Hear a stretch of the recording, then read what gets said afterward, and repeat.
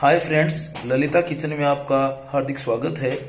आज हम बनाएँगे पालक की स्वादिष्ट पूड़ियाँ, जिसके लिए हमने लगभग आधा किलो के लगभग हमने अच्छे से डंखल को अलग किया हुआ पालक है, वो हम लेंगे। हरा पालक, घर में यदि पालक मिले तो बहुत अच्छी बात है, वरना आप बाज़ार से भी ले सकते हैं।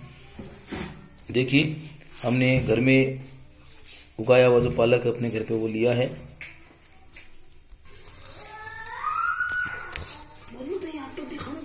देखिए, हमने अब इसको बॉईल करके आटे में इस पालक को अच्छी तरह से मेस कर लिया है। ये देखिए किस प्रकार से सॉफ्ट थोड़ा सा आटे को हम टाइट ही लेंगे ताकि पूड़ियाँ अच्छी से तैयार हो सके। ये देखिए, थोड़ा सा तेल हम लगा लेंगे इसके चारों ओर।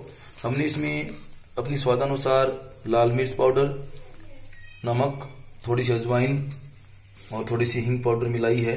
अब देखिए, यदि आपको ज़्यादा पालक, हरी, ज़्यादा हरी पूड़ियाँ चाहिए तो आप ज़्यादा मात्रा में पालक मिला सकते हैं। मैंने सामान्य जो है पालक उसमें मिलाया है और ये देखिए अच्छे से अपना आटा है, वो अच्छे से मेस हो गया है। अब इससे हम जो गोल पूड़ियाँ हैं वो तैयार करेंगे। ये देखिए, हमारा आटा बहुत ही अच्छा मेस हुआ है। देखिए, हम गोल पूड़ी से तैयार कर लेंगे, अच्छी तरह से फैला लेंगे। पूड़ियों को ज़्यादा न तो मोटा रखेंगे और न ही पतला बनाएँगे। ये देखिए, कितनी अच्छे से हमारी जो पूड़ियाँ हैं वो बनी हैं। और पालक थोड़ा सा मोटा ही रखें ताकि इसमें दिखे। दिखने से पूड़ियों को टेस्ट और जो स्वाद है वो लाजवाब आएगा। देखिए, इसी प्रकार हमने 10 से 12 पूड़ियाँ हैं वो तैयार कर ली है। और इधर हम दूसरी कढ़ाई में तेल को गर्म करने के लिए चढ़ाएँगे। ये देखिए, हमने जो तेल बॉयल चढ़ाया था गैस पर, वो अच्छी तरह से जो तैयार हो चुका है सरफेस पे आ चुका है। अब इस पे हम एक एक कर कर पूड़ियाँ हैं, वो डालेंगे।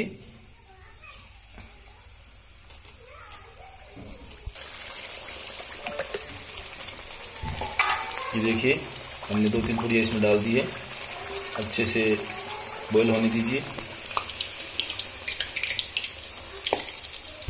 ऊपर से सीखने के बाद हम इसे नीचे से पलट देंगे। और गैस का फ्लेम हम मीडियम रखेंगे। कढ़ाई में इतनी पूड़ियाँ डालें तो आसानी से इन्हें तला जा सके। ये देखिए, लाजवाब पूड़ियाँ बन करके तैयार होने वाली है। किसी फुली फुली टेस्टी पूड़ियाँ तैयार होगी। ये देखिए, अच्छे से हम सेकेंगे इसे। इसमें हमने थोड़ा सा अजवाइन भी। ये देखिए पूड़ियाँ हमारी अच्छे से तैयार हो चुकी है। ये देखिए फूली हुई पालक अच्छी से प्रकार से हमें से नज़र आ रहा है। अच्छी से सिकाई करेंगे थोड़ी सी गोल्डन ब्राउन होने तक, ताकि पूड़ियों में अच्छे से सिकाई हो सके। और जितनी ये पूड़ियाँ आप अच्छे से सेकेंगे टेस्ट उतना ही अच्छा आएगा। ये देखिए, लगभग हमारी पूड़ियाँ हैं, वो तैयार हो चुकी हैं। पूड़ियों को अच्छी प्रकार से तेल के बीच में डालें, ताकि पूड़ियाँ अच्छे से फूलें। लाजवाब और टेस्टी पूड़ियाँ बन करके तैयार होने वाली है। प्लीज़ आप ज़रूर घर पे ट्राई करें इस रेसिपी को। और यदि इस चैनल पे नए हैं तो कृपया चैनल को सब्सक्राइब करें लाइक करें शेयर करें और इस रेसिपी को ज़रूर अपने घर पे ट्राई करें। ये देखिए, अच्छी सी पूड़ियाँ तैयार बन करके सीख कर तैयार हो गई है। ये देखिए, हमारी पूड़ियाँ अच्छे से बन करके तैयार हो गई है।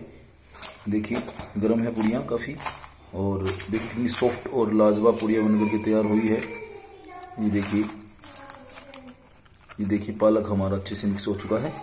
थोड़ा सा मीठा सोडा भी डाल दीजिएगा आप, ताकि ये अच्छे से फूल सकें। ये देखिए, काफ़ी लाजवाब पुड़िया बनकर के तैयार हुई है। इसे आप सब्ज़ी के साथ, चटनी के साथ या लाल मिर्च पाउडर के साथ या सॉस के साथ सर्व कर सकते हैं।